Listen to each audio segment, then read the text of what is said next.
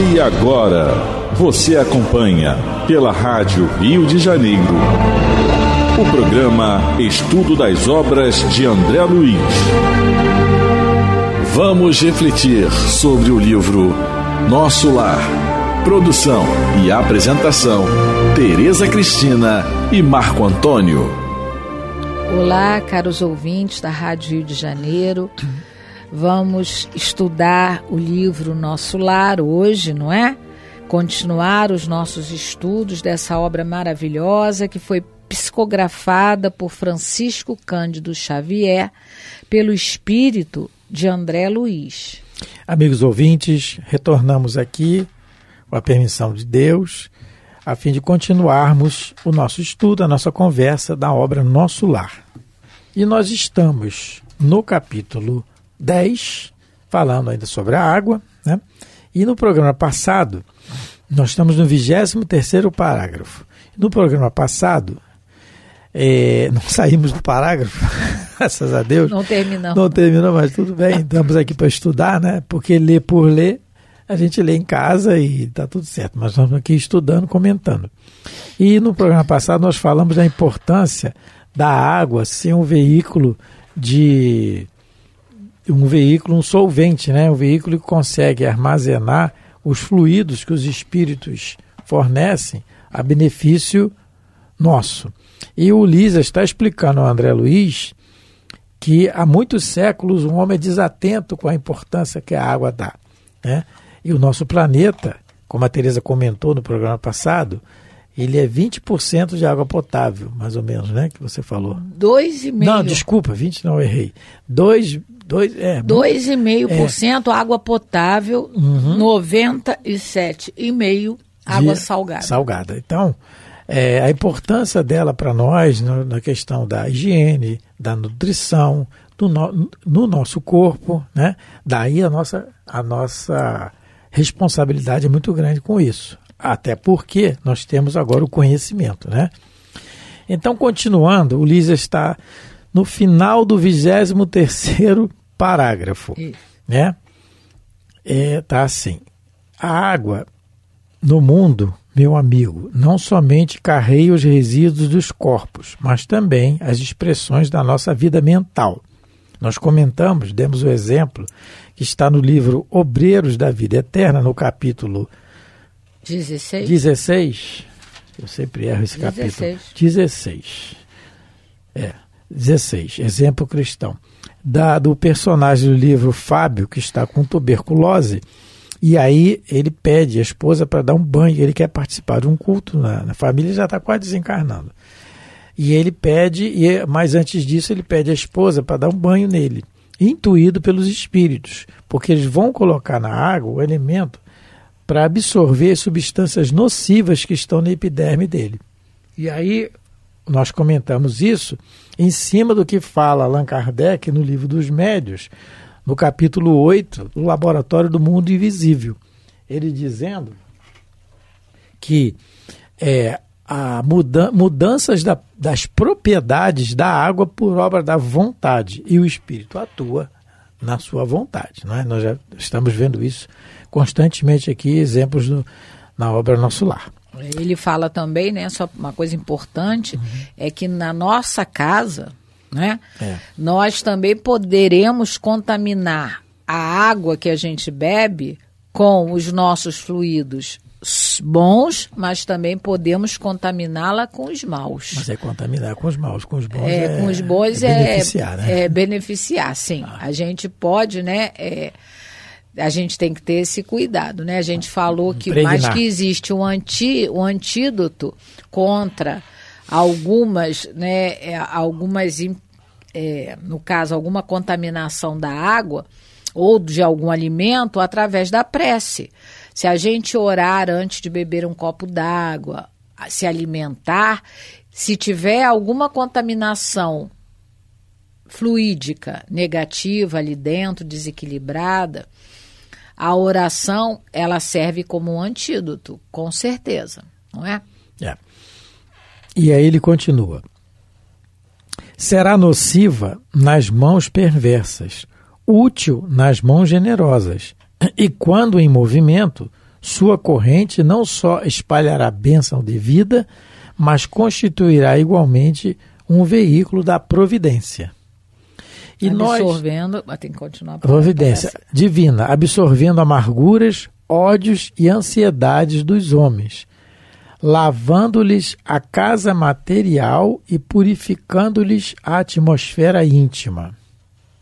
Isso é muito importante.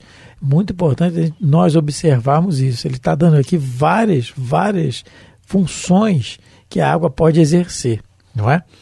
Então, absorver amargura, ódio, ansiedade, porque ela é um veículo de, como nós, uma das propriedades dela é isso, ela é um solvente universal, né? Mais, ela, ela, porque ela dissolve mais substância do que qualquer outro líquido. Então, no momento que ela dissolve as substâncias, que são agregações moleculares que nós estamos vendo, sal, você bota sal na água, dissolve com a né? Você açúcar. Não, açúcar. E vai por aí fora. Então, Café, então, o que for. O que for. Então ela dissolve. Então, é, isso nós estamos vendo, a agregação molecular dos átomos nós estamos vendo ali. Mas, no caso do sal, cloreto de sódio, sódio, cloro, né? Juntando, ela dissolve. Então, ela consegue também, por isso, dentro de um raciocínio lógico, ela carrear substâncias que são dirigidas a ela pelo pensamento. Que é matéria. Que é matéria também. É né? Porque é, o, no caso que nós lemos o exemplo do Fábio, do personagem do livro Obreiros da Vida Eterna, e os espíritos colocaram ali substâncias, vou usar o que eles disseram aqui, ó, para é, para absorver, colocaram substâncias na água para absorverem substâncias nocivas que estavam na pele dele. Então é como se fosse uma coisa que sugasse. Isso. A gente não sabe o que é, eles não disseram, mas são substâncias. E como é que eles colocaram isso? Pelo pensamento. Pelo pensamento. E Muitas que, vezes, às vezes, a gente não toma um banho uhum. que a gente sai renovado, que parece que a gente lavou é a alma. Exatamente. Provavelmente, alguns amigos espirituais nossos, sabendo do nosso cansaço, né, das fadigas do dia a dia, eles podem aproveitar esse momento de relaxamento e aproveitar que a água é esse veículo poderoso, eles podem magnetizar a água do nosso banho. E realmente tem dia que o banho parece remédio, não é por outro motivo não é? Estudando nosso lar, a gente já pode entender que isso aconteceu com o Fábio, pode acontecer conosco também quando a gente está é. doente, às vezes, né, sentindo mal, a gente vai tomar um banho, sai assim, ref, né, refeito do banho. Amigo espiritual colocando, não é? Fluidos bons naquela água para que a gente possa Melhorar, então, aliviar. A Tereza está colocando a questão da, da água ser um remédio. Como ele né? diz, né? Lavando diz aqui. Então vamos. No, no programa passado nós colocamos, nos reportamos ao dizer do Mestre Jesus, que está em Mateus capítulo 10, quando ele diz aqui, vou ler o que está no texto. E qualquer que tiver dado só que seja um copo d'água fria, por ser meu discípulo, em verdade vos digo que de modo algum perderá o seu galardão. E o Emmanuel comenta essa passagem, né? Ele está no livro Segue-me. E o título do, do, da página é A Água Fluida. E ele comenta essa passagem, no final do comentário, ele diz assim: Reconheçamos, pois, que o Mestre, quando se referiu à água simples, doada em nome de sua memória, quer dizer, em meu nome, em nome da memória, evocando a Jesus, uhum. né? Reportava-se ao valor real da providência a benefício da carne, quer dizer, do corpo, e do espírito, sempre que estacione através de zonas enfermiças. Então ele está colocando a água como remédio para o corpo e para o espírito. Para a alma. Né? E ele continua assim, no final do comentário. Se desejas, portanto, o concurso dos amigos espirituais, na solução de tuas necessidades fisiopsíquicas, fisiopsíquicas, corpo e espírito, ou nos problemas de saúde e equilíbrio dos companheiros, coloca o teu recipiente de água cristalina à frente de tuas orações, espera e confia. O orvalho do plano divino magnetizará o líquido com raios de amor em forma de bênçãos, e estarás então consagrando o sublime ensinamento do copo de água pura, abençoado nos céus. Então, sempre a quem se recorda, sempre que a mamãe ou papai botava a água perto do rádio na oração da Ave Maria, há uns 50 e poucos anos atrás, né? Do Júlio Lousada, não vamos lembrar aqui, né, Tereza? Do Júlio é. Lousada. Os espíritos sempre magnetizavam a água, né, de acordo com a nossa necessidade. Sim. Não é que vai resolver o nosso problema. Não é, é isso. É para aliviar. É aliviar. Hum. Quem resolve o nosso problema somos nós, não é? é. Aí é outra coisa. Né? É, outra, ele também, ele, quando ele coloca aqui que a água ela lava a casa material, né, estudando ontem, eu estava vendo que em 2004, é, em São Paulo, foi um ano de muita chuva. E o que que os meteorologistas estudando observaram? Que a poluição ficou muito melhor, menor. menor. O ar ficou muito melhor de ser respirado por conta da água, não é? Então, é como ele coloca, a água não só limpa a nossa casa mental, mas também não é limpa a nossa casa material, que no caso individualmente é o corpo e coletivamente é o ar atmosférico, a nossa casa, né? A Terra, o planeta Terra. Então, o próprio André Luiz, não é? Ele coloca, eu não sei em que livro ele coloca isso, mas ele, eu já li ele colocando que quando existe as tempestades, as chuvas, aqueles, né, acompanhadas de raios, não é só para, na realidade, molhar a terra, é, dar de beber aos animais que vivem, né, que vivem soltos, não é só isso. É também, tem, a, tem a, o objetivo de limpar a psicosfera não é? Principalmente aquela tempestade é, magnética de raios, aquela tempestade elétrica que a gente vê raio cortando. Então, eu, eu costumo a, a pensar, né? Quando cai aqueles raios em quantidades muito grandes, né? Geralmente nos, nos centros urbanos, eu, eu penso na mesma hora. Eu falei, bom, Jesus e os seus prepostos estão limpando a nossa psicosfera. E por isso, é, até a gente ter o hábito de agradecer a chuva e não reclamar dela.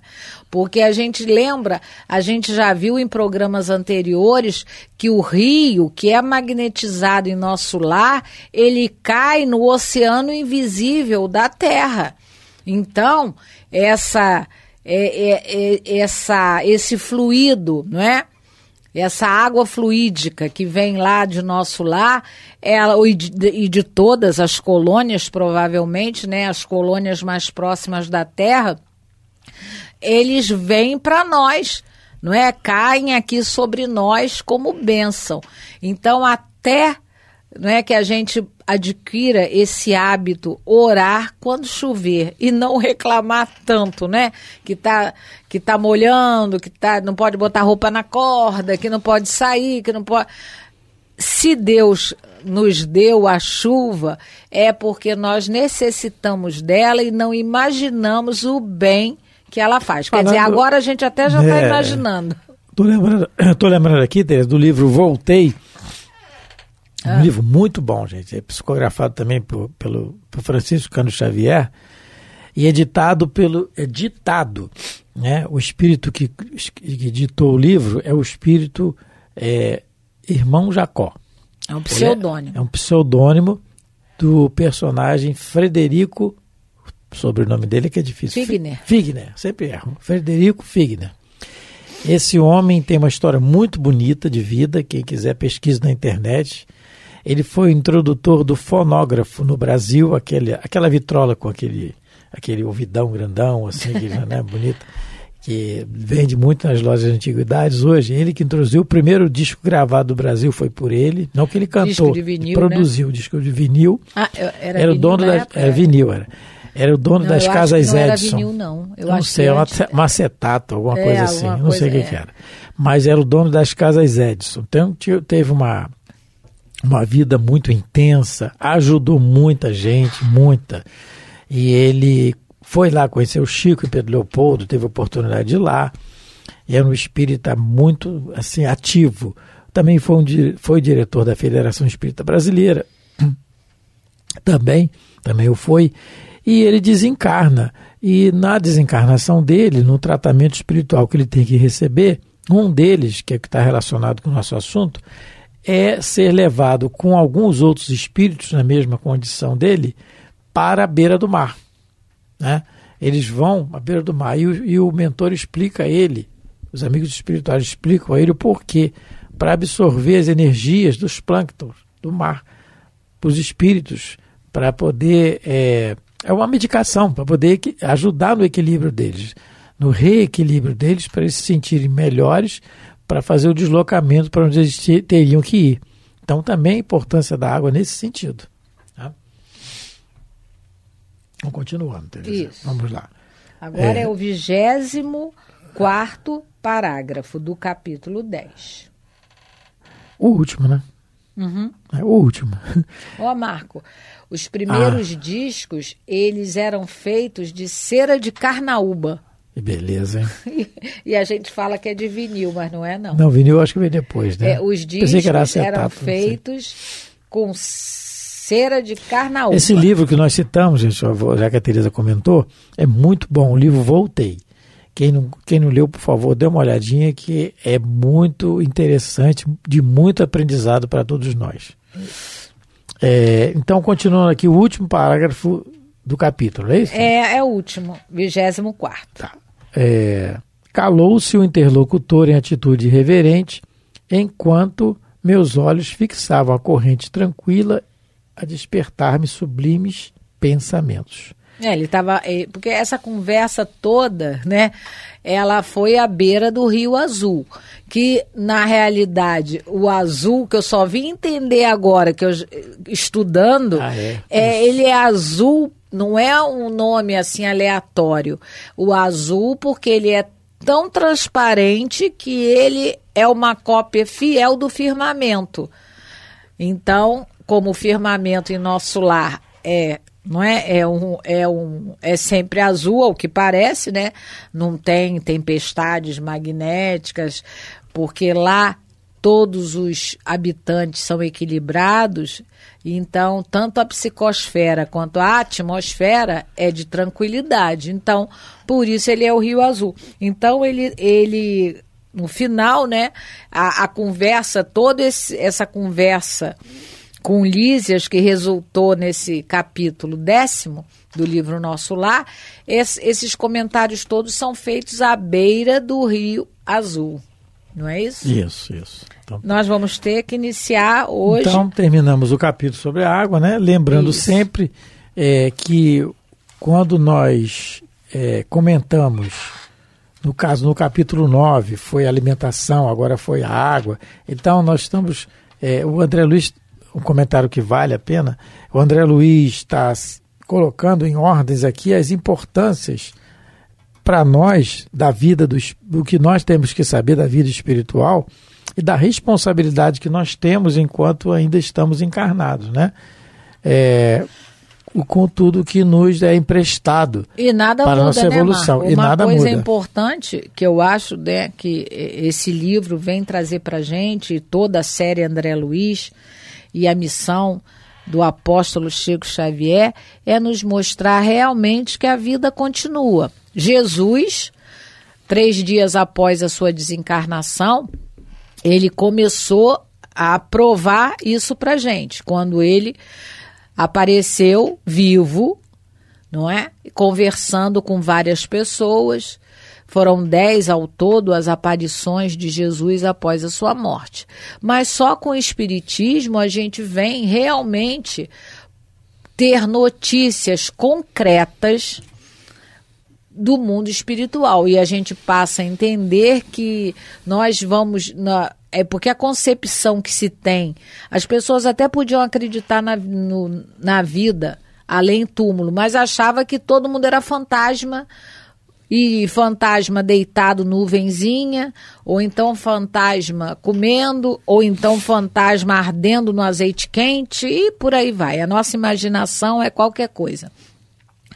Então, é, Jesus achou que nós já estávamos maduros para receber o Espiritismo, o Consolador. É. E aí, Chico Xavier, Allan Kardec, traz toda a teoria, né? Um trabalho dificílimo porque não se tinha nada sobre isso. Nada. Kardec nada. começou do zero. Exatamente. Não é? E Francisco Cândido Xavier, esse apóstolo de Jesus, ele também vem mostrar para gente concretamente falando, né, com vários exemplos, situações, como é a é, vida no mundo espiritual. Copiando, é, copiando novamente o dizer do Lises aqui no início do último parágrafo, que ele, do último parágrafo desse 23 em que ele diz que o homem é desatento há muitos séculos, e no, que, o que nós estamos comentando aqui para finalizar né, esse capítulo esse capítulo 10, é, Paulo de Tarso já dizia há dois mil anos, mais ou menos, né, que há uma nuvem de testemunhas ao nosso redor. Paulo de Tarso tinha mediunidade poderosa, era, era médio. Então ele está dizendo que ele estava vendo, e o que sempre existiu. A mediunidade não é patrimônio do espiritismo, a mediunidade sempre existiu, desde é. que o mundo é mundo. Os profetas, todos eles do Velho Testamento, nada mais eram que médios. Recebiam informações dos espíritos que vinha de Jesus e citava, ele colocava é, para o povo saber. Uhum. Então, essa desatenção nossa até no a, Velho Testamento. Isso, né? até no Velho Testamento. Isso, isso, exatamente. Mas com a vinda de Jesus, moral, começou a se moralizar isso. É diferente. Esse né? intercâmbio. Esse é. intercâmbio. E o raciocínio nosso, agora, agora, por causa da nossa preguiça mental, que demora, né? agora que ele está sintonizado, antenado, vamos dizer assim, com, com essas situações, essas coisas, vamos dizer assim. Você não pode falar, né? era proibido até falar nisso. Né? Então hoje você vê falar de reencarnação na televisão corriqueiramente, nas novelas, nos filmes. Né? A palavra já está mais no Oriente, ela sempre foi usada, mas não no sentido correto como ela é usada agora. Então, o missionário Allan Kardec, missionário de Jesus, ele vem trazer, como a Teresa disse, tirou do nada o raciocínio que nós temos hoje, a base para nós nos ensina que os espíritos constituem a população invisível do globo. Sempre existiu isso. E isso foi muito combatido na época. Só Kardec sabe o que ele passou. E a Amélie Baudet, né, companheira dele. Sim. Só ele sabe o que ele passou para poder divulgar isso, né? Mas, por isso que a França foi preparada com todo aquele sentido de liberdade para que ele pudesse ter um campo para passar isso. E Chico Xavier, né, outro missionário, em que vem nos colocar em, em miúdos, vamos dizer assim, no linguajar popular, em miúdos, o plano espiritual, que espanta muita gente, mas é normal, é natural. A novidade sempre espanta. A gente, nós somos muito comodistas nas, nas ideias. Para mudar é difícil. É. Vide o nosso comportamento, que é o mesmo, como diz aqui, desatento, desobediente há muitos séculos. É. Então, a obra André Luiz é de fundamental importância para nós sempre pensarmos e raciocinarmos diariamente eu estou provisoriamente aqui num corpo de carne que me foi emprestado para a minha evolução. A verdadeira pátria é a pátria espiritual. Ponto final. Né? Então, é, para nós raciocinarmos isso diariamente, corriqueiramente. E vai depender só de mim o que eu vou colher no futuro, de bom ou de ruim. Lógico. Estamos terminando, né? É. Vamos o, deixar o, o próximo o capítulo. capítulo. né? Vamos deixar o próximo Isso, capítulo para o próximo programa, Isso. não é? Porque dá azar. Mas, entre aspas. não pode começar pequenininho. Então, é. nós estamos terminando, agradecendo aos queridos ouvintes pela caridade de ter paciência de nos escutar, né? Sim. E que Jesus continue sendo a nossa meta. Um abraço a todos os ouvintes, fiquem com Deus. A Rádio Rio de Janeiro apresentou o programa Estudo das Obras de André Luiz. Produção e apresentação: Tereza Cristina e Marco Antônio.